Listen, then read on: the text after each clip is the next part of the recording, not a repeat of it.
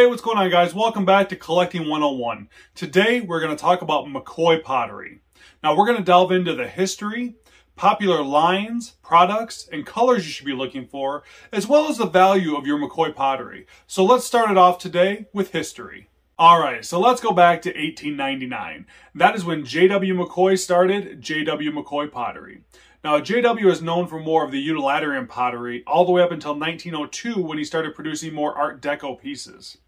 Now, in 1910, JW's son Nelson joined the company and they renamed it McCoy Sanitary Stoneware Company out of Roseville, Ohio. Now, you might be asking, why Roseville, Ohio? Well, at that time, Roseville is known for one of the best sources of clay, which is obviously vital to making any kind of pottery. Now, these guys were very successful all the way up until 1918 when them, along with 11 other pottery companies, formed the American Clay Products Company, or ACPO. The ACPO was very successful, all the way up until 1926 when they were liquidated, which released all of their members to become independent companies again. Now, being an independent company again, McCoy started producing more of their food and sanitary wares all the way up until 1933 when the demand decreased so dramatically that McCoy changed their focus back to more Art Deco pieces. They also changed their name that year to the Nelson McCoy Pottery Company. Now, McCoy remained family owned all the way through 1967 until they were sold to the Mount Clemens Pottery Company. Now, from 1967 until they ceased operation in 1982, the McCoy name changed hands multiple times. Now, McCoy remained popular throughout all those years and still remains popular to this day. They, they produce so many great product lines, as well as having a great quality name to back them as well. All right, guys, that's the history of the McCoy pottery. So let's start talking about the popularity. First off, I want to highlight some of the colors because, man, some of those are just really beautiful pieces of pottery they came out with. The next up, I want to talk about popular products they came out with. Then after that, we're going to end it with the popular pottery lines that they released. So let's start it off with those colors.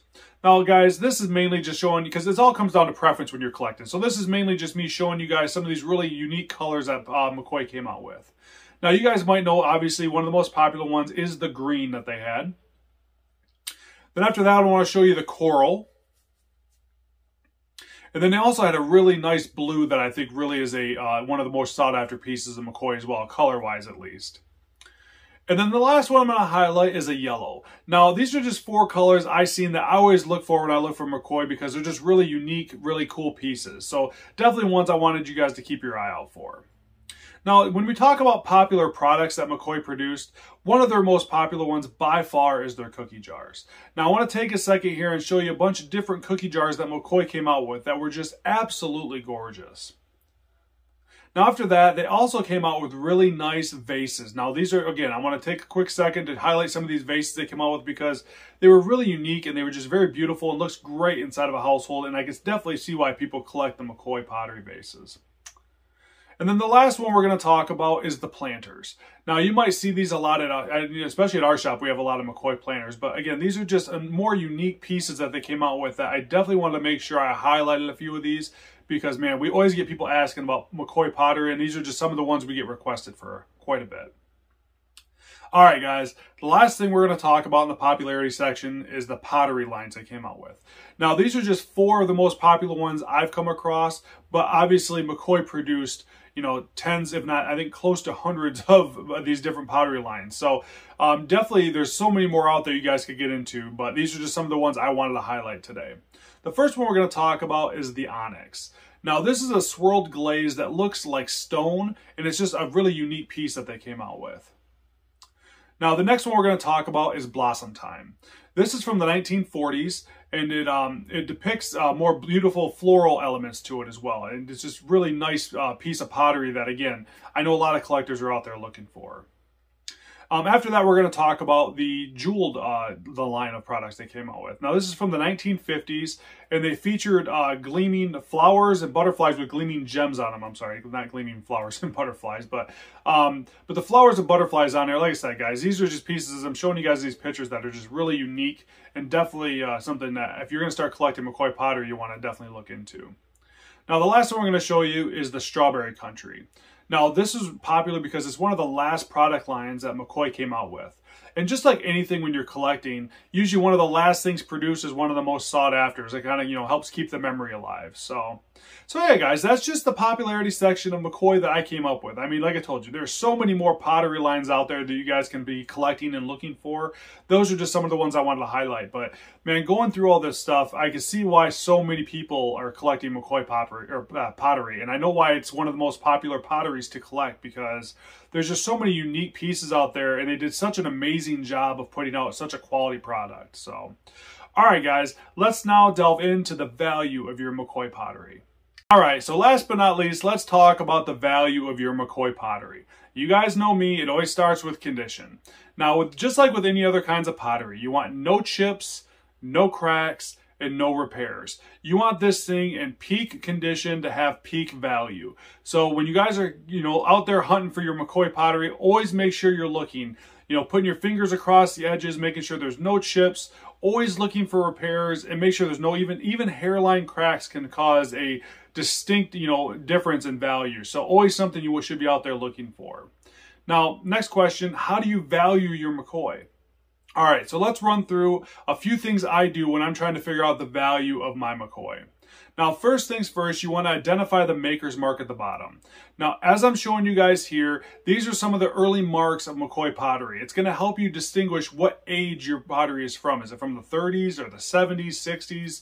This is going to give you a great, you know, uh, head start on finding out the value of your McCoy.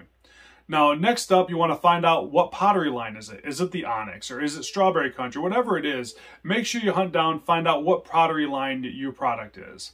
Next up is what type of product is it? Obviously, probably the easiest out of all of them. Obviously, if it's a cookie jar, it's a vase, it's a planter, you know, pretty, pretty straightforward. Now, after that, here's what you're going to want to do you want to either get a reference book, which is, you know, which is possible too, not a big deal. You don't have to always go online. But you guys know me, I always like going on eBay, looking up those online sales. That just gives you the best market to find out what your McCoy is worth. Now, if you don't want to go about that and you want to just say, hey, I have this piece of pottery, here it is, what is my monetary value on it?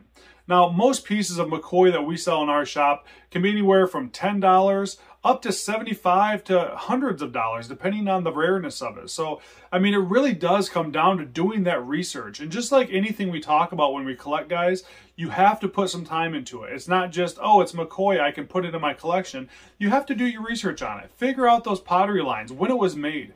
The more information you can have about your products, the more, you know, the more, obviously, the more you're going to know, but oh, the more you're going to know to how to value it correctly. So always make sure you're doing all of that due diligence to make sure you have the best possible collection you can have.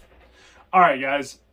You know this, it's my favorite part of the video. This is the top three most expensive McCoy pottery pieces I've seen sell. So let's start it off with number three. Now this is a McCoy Blue Dandelion Bowl that sold for over $785. I mean, that is just a gorgeous piece, and man, that's a that's a pretty high price for just a pottery bowl.